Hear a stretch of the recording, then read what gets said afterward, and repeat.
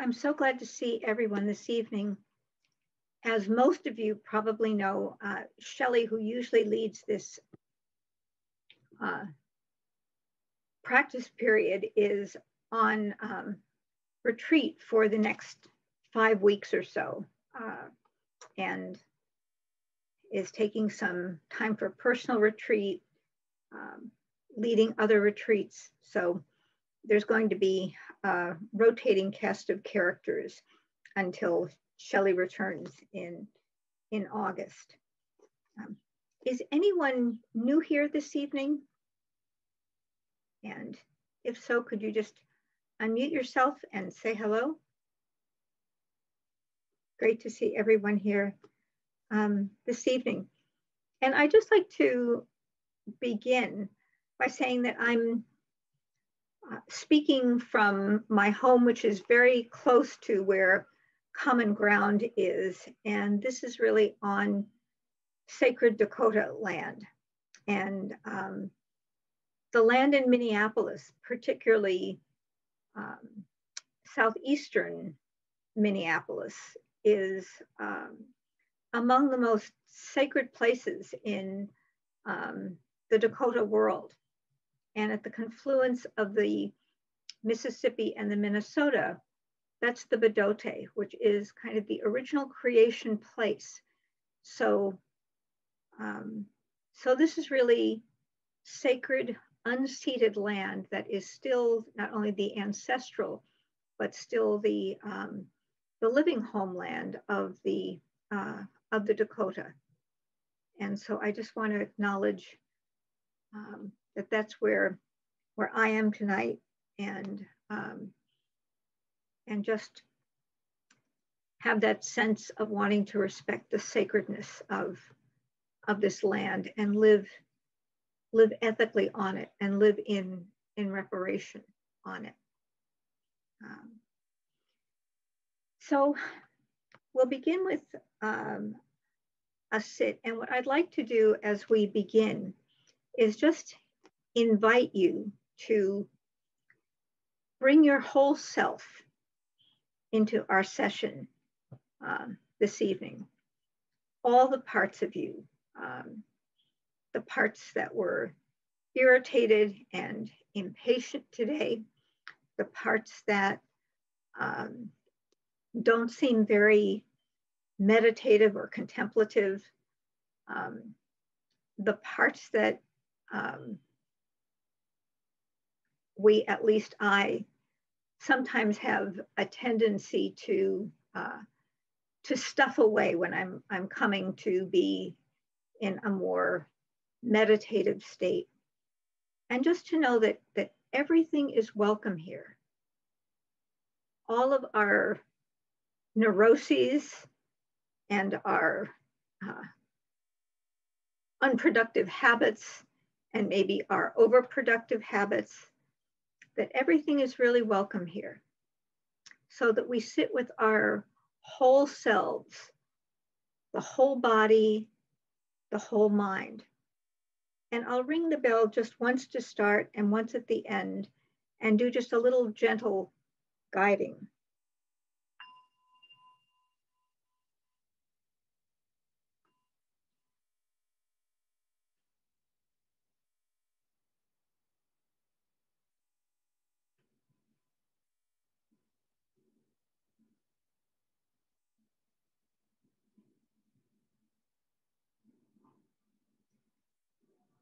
So just allow yourself to have a posture that truly supports you, that enables you to feel that you are here just exactly as you are. Alert, but not tense.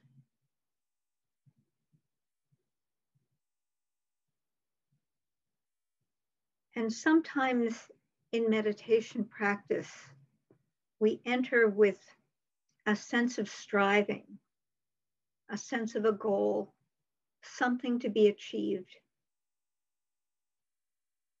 There's often a lot of judging around a formal sitting practice, a sense of rating ourselves, giving ourselves a score. And let's just see if we can tonight let go of that. Let go of the striving.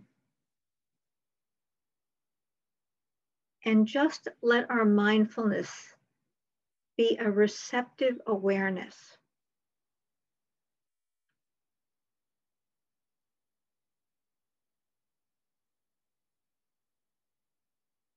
In mindfulness, we remember to be aware of the present moment's experience. And awareness is always possible, but it takes no more effort than just watching the clouds move across the sky or sitting by a lake shore and watching the ripples on the lake we have that same kind of kindly interest. Just open and aware.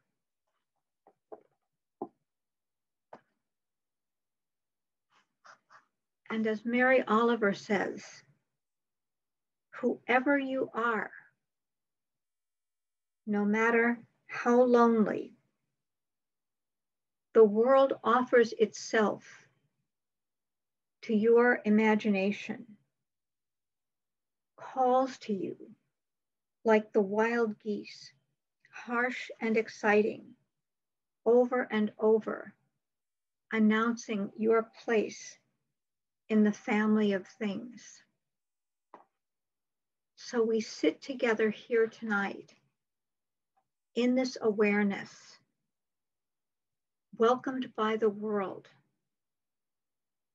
we sit in community,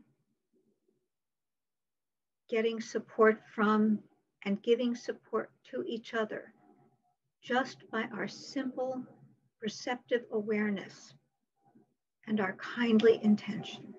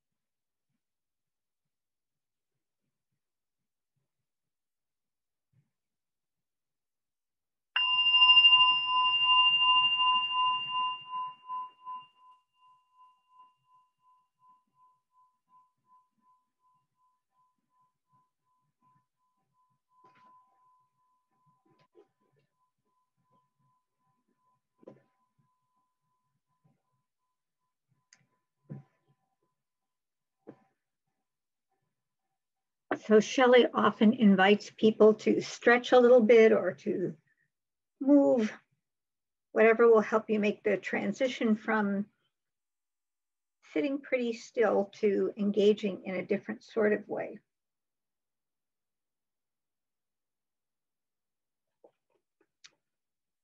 And is there anyone who joined us during the sit who is new here for the first time and just would like to say hello, um, your name, your pronouns, introduce yourself at all? Well, thanks everybody for being here. And my plan for tonight is I'd like to engage us in a discussion. I'm going to speak for a while, but I'm really interested in our investigating the idea of belonging. And why is that so hard? So uh, Ruth King, who is a wonderful Dharma practitioner, um, trainer, brilliant person, and she's the author of um, Mindful of Race when she does trainings, and I've done this with her a few times, whether you're in an auditorium or in a Dharma hall, she suggests that people pair up. And then this is what she offers. I am only here because you are here. You are only here because I am here our hearts, our old friends. I am only here because you are here. You are only here because I am here. Our hearts are old friends. And I just like us to take a minute to lean into that and imagine what it would be like to really believe that, to let go of our sort of suspend that critical, cynical self, and really imagine what it would be like if we lived this way, if we felt this sort of, you are here because I am here and I am here because you are here. Our hearts are old friends.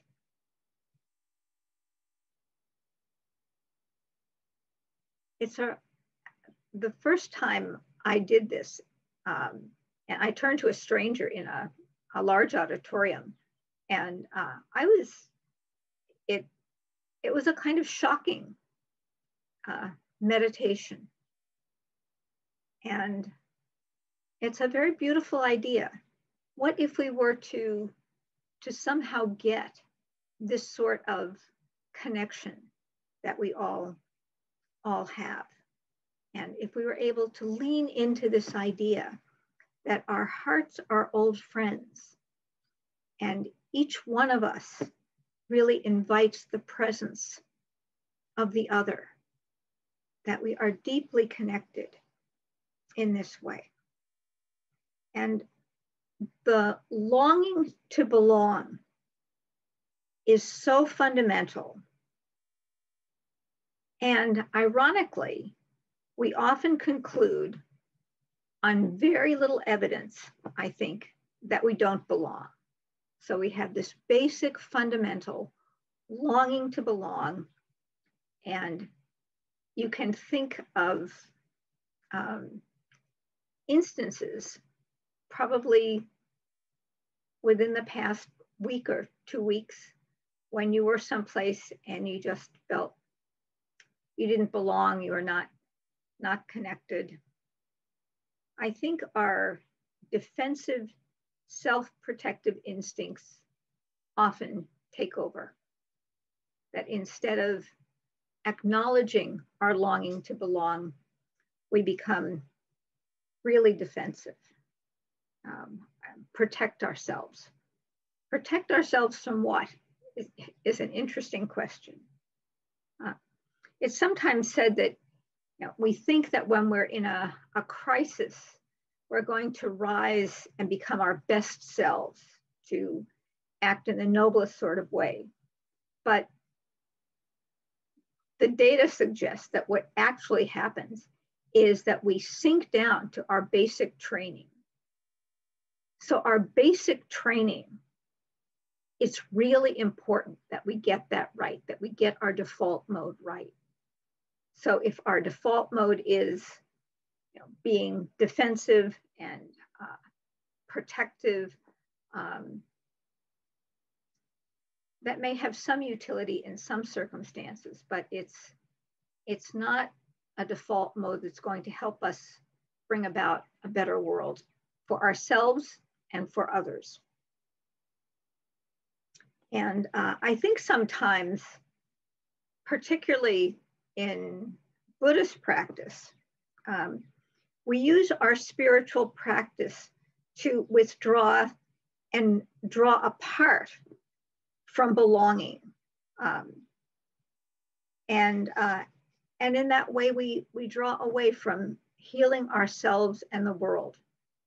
I think I, it has seemed to me over my many years of practice that there is a kind of, of tendency sometimes because there's so much, you know, the Buddha goes under the tree, sits in solitude.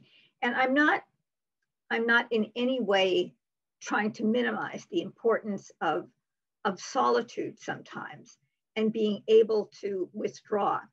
But when that becomes our default mode always, that we just withdraw into, pardon me, into solitude, it doesn't seem to me that that's what um, our world needs right now, what our, um, our country needs, and depending on where you are, what your city needs.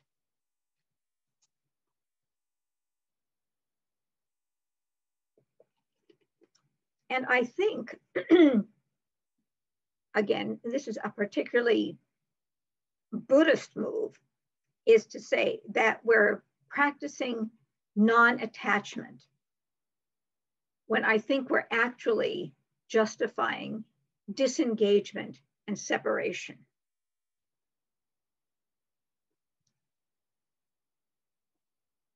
So just think for a minute if that rings true for you that that we tell ourselves that we're practicing non-attachment, but what we're really practicing is is this sort of, of disengagement and separation. And and I've been thinking about this idea about belonging for, for months now.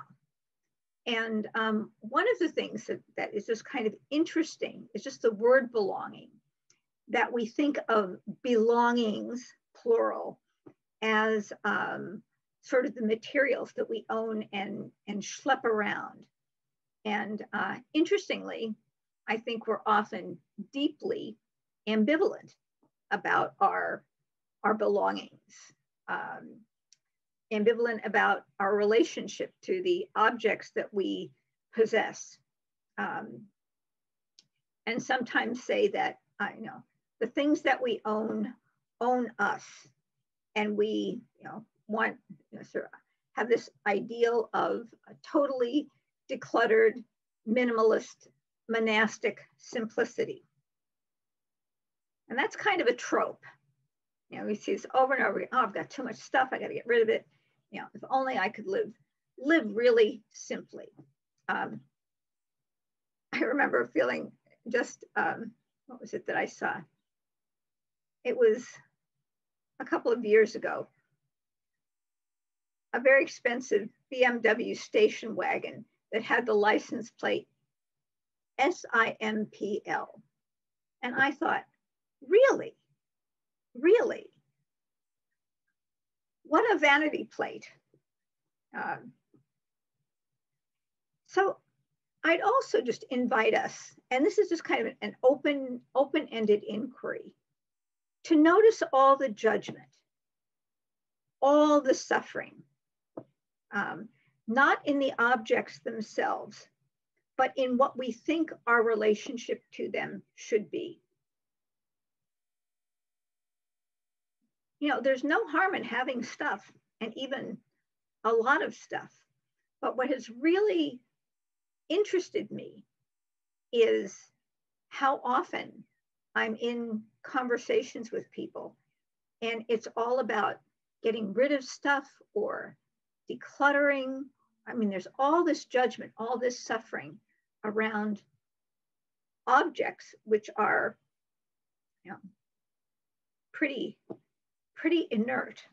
But we have these ideas about what our relationship to these objects should be. And there's a lot of judgment and a lot of suffering. Um, and I think it, it goes along with our sort of um, fantasy in a way of uh, having a sort of super simple, um, perhaps minimalist life. This is kind of uh, monasticism, urban monasticism um, in a way. And I think, I, I think this is purely speculative, but as I've been kind of um, just noodling around with this idea now for a couple of months, um, I think that that um, sort of our relationship to our belongings and this whole idea of belongings as baggage in a way, I'm suspecting that it somehow has this little carryover of taint to the notion of belonging as relationship.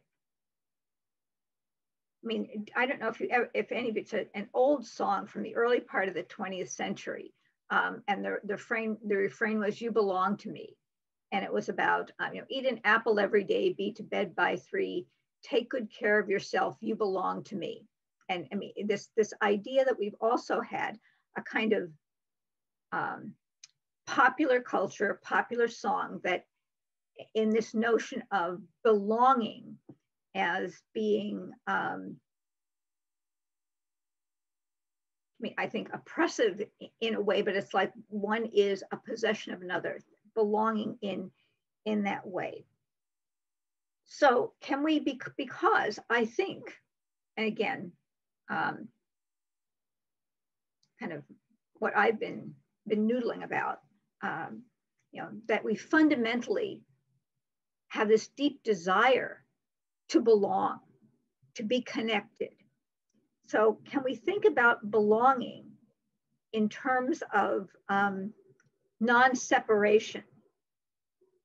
And this, I think, is really what Mary Oliver was getting at in the uh, piece of the, the end of the poem, Wild Geese, that I read when we started our meditation, where she says, Whoever you are, no matter how lonely, the world offers itself to your imagination over and over, announcing your place. Uh, I'm sorry, the world offers itself to your imagination, calls to you like the wild geese, harsh and exciting, over and over, announcing your place in the family of things.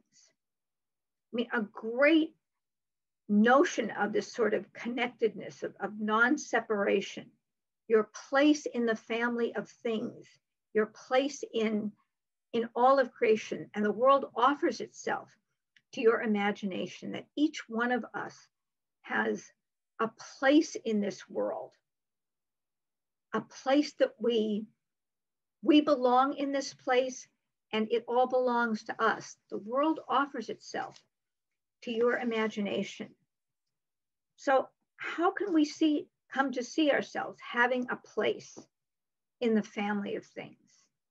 How can we develop as a practice this notion of belonging, the sort of thing that Ruth King talks about when we, we announce that I'm here because you're here. You're here because I'm here. Our hearts are old friends. There's um, a wonderful writer and activist named Valerie Kaur, who is a Sikh. And um, she's written um, a book called See No Stranger, which she said is one of the tenets of the Sikh religion. See no stranger. And she says, whenever you meet a person, recognize you are a part, part of me that I do not yet know. That that's how we approach the stranger.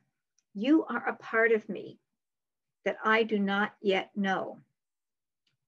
And she said, we practice orienting to the world with a sense of wonder, preparing for the possibility of connection. And what a practice. Orienting ourselves to the world with a sense of wonder, preparing for the possibility of connection. It's a beautiful, beautiful aspiration.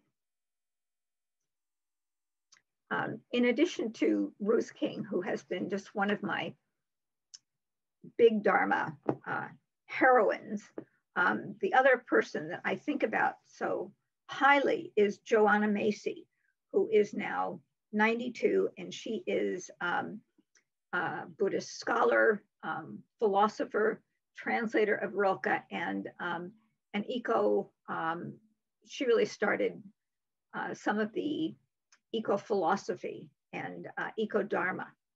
And she talks about us all now at this time being part of a great turning, that here we are kind of on the on the cusp and we're we're really getting a sense of, of how things are shifting and changing you know with the um, we just look around and we see the the fires and the heat dome and we see all of these sorts of things. And there is this great kind of turning. And in addition to all of the um, sort of natural disasters what we see also is this tremendous um, surge of, of persons, many of them young persons, who are just so committed to, um, to doing what they can to preserve and sustain life on earth and to make it the best life possible. And so it's been very, very inspiring. And she talks about all of us being in this great turning, like the turning of the wheel of the Dharma. And um, and we do it by connecting. We do it by recognizing the good. Sometimes she talks about the great ball of merit. And she says, if you think about every human being who's ever lived, they did at least one not bad thing in their lives. And so there is this great ball of merit from all these people. Maybe they in, inadvertently did something that was not bad. But she said, you know, we need to think about our ancestors and the good. And we carry this good, good forward. We think imaginatively, we, we don't see ourselves as separate and, and struggling, but we see ourselves as this kind of um, lineage and we come together and we come together to um, to really support and sustain life on earth in the most um, intelligent way that we can. And so I want to read a poem that um, she wrote that I have read before that, that just completely inspires me. She says, when you act on behalf of something greater than yourself, you begin to feel it acting through you with a power that is greater than your own. This is grace. Today, as we take risks for the sake of something greater than our separate individual lives, we are feeling graced by other beings and by Earth itself. Those with whom and on whose behalf we act give us strength and eloquence and staying power we didn't know we had. We just need to practice knowing that and remembering that we are sustained by each other in the web of life. Our true power comes as a gift, like grace, because in truth it is sustained by others. If we practice drawing on the wisdom and beauty and strengths of our fellow human beings and our fellow species, we can go into any situation and trust that the courage and intelligence required will be supplied. I'm going to read that last stanza again. If we practice drawing on the wisdom and beauty and strengths of our fellow human beings and our fellow species, we can go into any situation and trust that the courage and intelligence required will be supplied. I just get chills when I read that because that is my aspiration to work with others, to feel that sense of belonging, and to feel that sense of, of purpose, and to trust, to trust that in any situation, if we trust each other and draw on each other's strengths, that the courage and the intelligence in any situation will be there for us. So what I would love to hear are, um, are your reflections, your experience of belonging, your experience of non-separation, non-exclusion, and any other ideas that you might have. So please just um, unmute yourself and, uh, and chime in. Thanks, Alan. Were you able to take care of yourself? I mean, that, that's also in, in this idea of, of belonging. It's, it's not about sacrificing oneself. It really is, you know, that we care for ourselves and we protect ourselves appropriately, that we, we don't do things that would be foolhardy and we, we often need to just trust our own our own instincts. But were you were you able to to take care of yourself in that situation? I, I don't know if you if you have a, a metta practice, but um, I sometimes in in difficult situations just have the aspiration may you be free from harm. And, and just sending that out to both of the, the people involved in this. May you be free from harm. Um, may no inner or may no inner or outer harm come to you. And that's just an aspiration that we can have for people, even for people who are behaving in, in dangerous ways. We can still hope that they are not harmed and that um, that may be um, that may be a, a response. Uh, but thank you for sharing that, Alan. And I, you know, it's uh, as I I said, you know, this sort of ideas that we have um, in difficult times, we get we get to see what our what our default is is going to be. So thank you. You know, this, it, it is really um, a practice. And there are probably for most of us, places and communities, like physical places and communities that we do feel more at home, that we feel uh, freer to express who we are, um, probably because we feel that we can be seen in um, in a way that that makes sense for us. Um, and I, I think um, the practice that um, Valerie Kaur talks about, you know, see no stranger.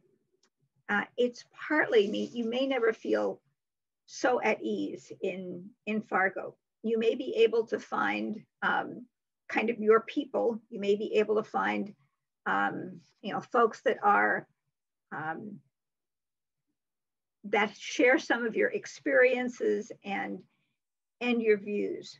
Um, but it, it's not, I don't think this is about feeling um, like that, that every place feels like home. Although I think there are some people genuinely who are um, so um, completely um, at home in their own skins that they can go lots of places and feel at home. I, have had that sense, for example, from the Dalai Lama. And I've met a couple of other, other people, and they just seem to be so at ease with themselves that kind of no matter where they are, they're sort of at ease in the world. And, and it, it's, um, I think it's kind of a, a rare quality.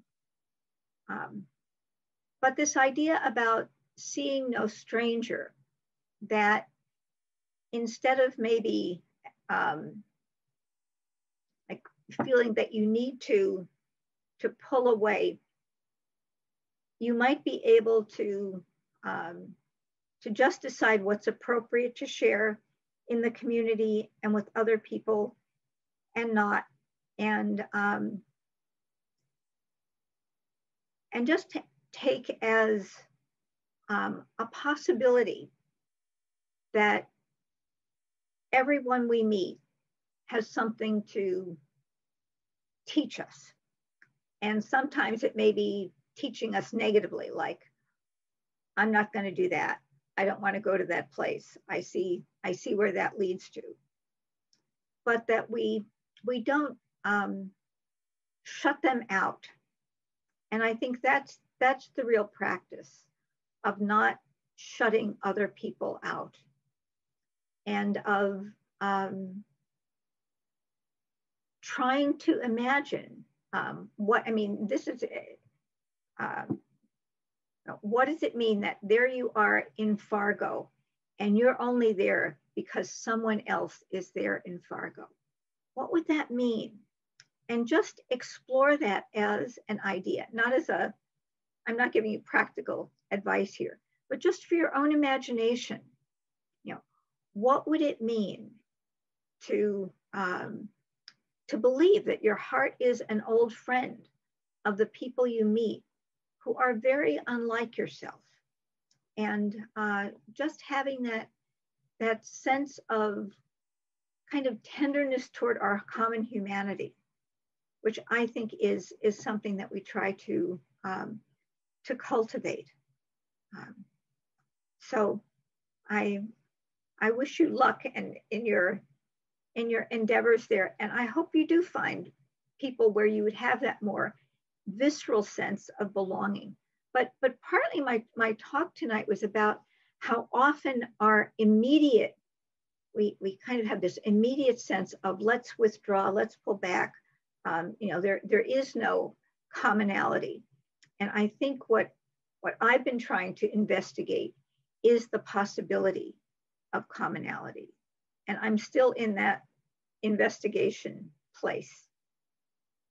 Years ago, um, I was a philosophy professor, and um, when I was a, early on in my teaching, one of my students came up to me and said, I can really tell whenever you're feeling really insecure. He said, Your vocabulary, you just start pulling out all the really big words.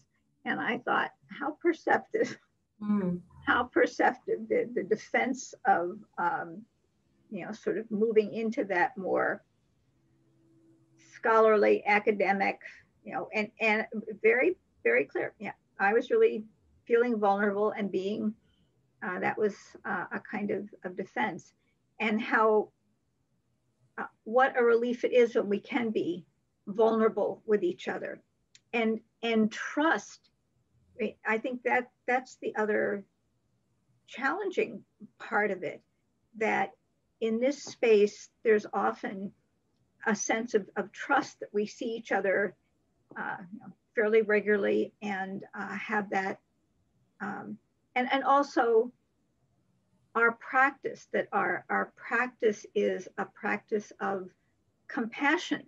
So coming into a space where um, one believes that you know, we're all motivated by compassion, that that's a value we all share.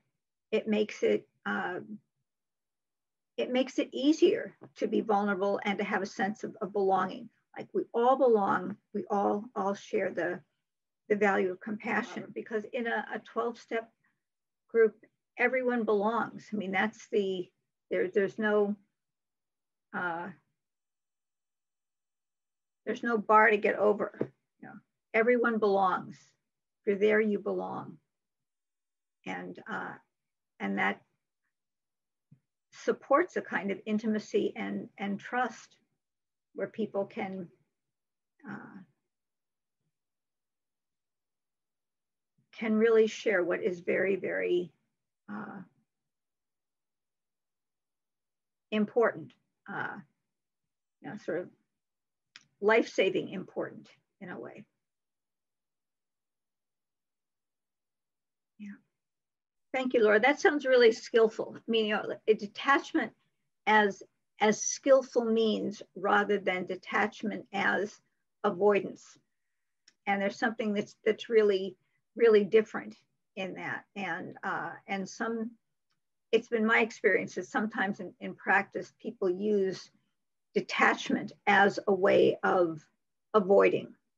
But what you were saying, Laura, sounded very skillful a very intentional um, detachment with with love and and not just cutting someone off or just completely hunkering down thanks thanks for that contribution what you what you said and it is that real idea that that mary oliver talks you know that the world the world offers itself to your imagination and um, you know you have your place in the family of things. So feel, feel welcomed. The world offers itself to your imagination. Being tender toward ourselves is, uh, is a really worthy project to see if we can cultivate a kind of tenderness toward our own hearts. You know, so often we can extend that to um, to another person or to an animal, um, to a child. We can, we can be very, very tender and we neglect cultivating tenderness toward our own, our own hearts, toward our own, own being. So that's a, that's a good thing to, to remember when we talk about compassion. Can we be tender compassionate um, toward ourselves. So we are just about at the end of our time. Is there anything anyone else would like to say before we, we close?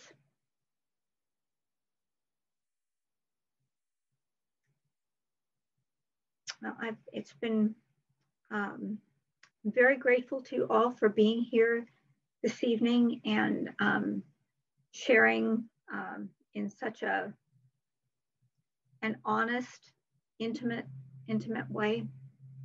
So I really appreciate that. So let's share the merit. Um, oh, my favorite act of imaginative generosity. You can just do this till the cows come home. You know, this is this is um, such a such a great practice. So if there's any goodness to our practice, any benefit or blessing or merit. We would, if we could, gladly, happily, joyfully share it with others. In fact, if we could, we would give it all away. We would give it to our parents, our teachers, our families, our friends, our communities, to the people we like and the people we don't like, to the people we know and the many, many, many people we do not yet know. And in addition to the two legged, we would share these blessings with the four legged, the many legged, the winged, the scaly, the slithery, the finny. May all beings everywhere find a path of peace. May all beings be free from suffering. So thank you all and good night. Take care.